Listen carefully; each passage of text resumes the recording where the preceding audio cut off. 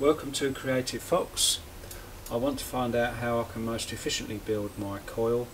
I know you can calculate uh, ampere turns versus resistance and magnetic field and so on but I was useless at maths at school so the only way I can do it is by practical means and see how many turns I need on there to repel the, the magnet most efficiently. If I have too many turns on there um, then the resistance will start kicking in and it will cease to repel the magnet so well or indeed attract it if it's inside it. So the best way is just to simply count the turns and I've got uh, turns um, counter there and see how many it takes to have that optimum uh, magnetic effect on the magnet. So here goes, here's winding the coil.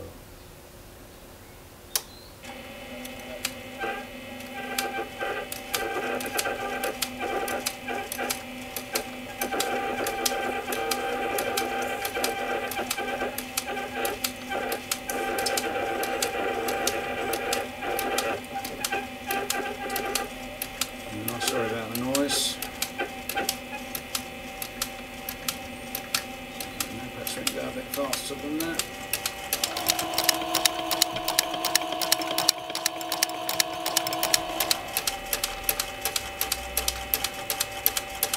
And uh, I'll just turn it over. Make it as neat as possible on the journey back. And what I'll do I'll come back to you later. And uh, tell you how we're progressing. Well here we are with um, 300 turns on the coil. I've applied 5 volts, nearly 5 volts, we'll tweak that up to 5 volts. That's it.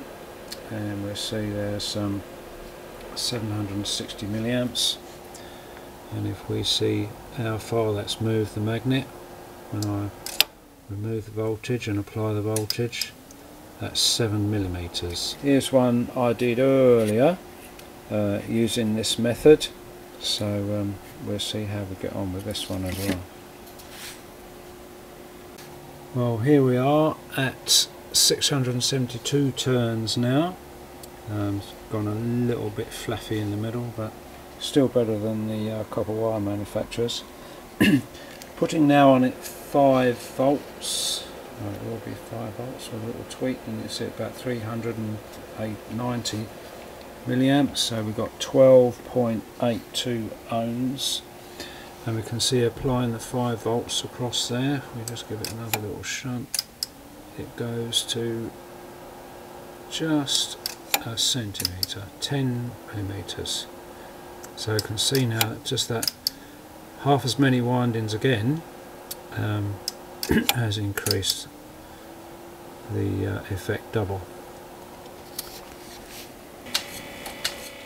What I'm doing now is deliberately overwinding the coil to see what effect resistance has on the on the ampere turns and the effect of the magnetism.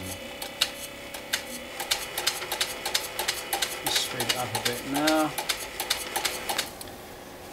Now you can see I've got 817 turns on there.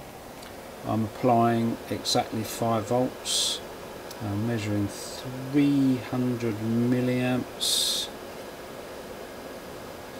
and when I apply the power we'll see that the magnet moves just just about 9 millimeters the same as last time. So very little improvement for an extra uh, 200 windings or so.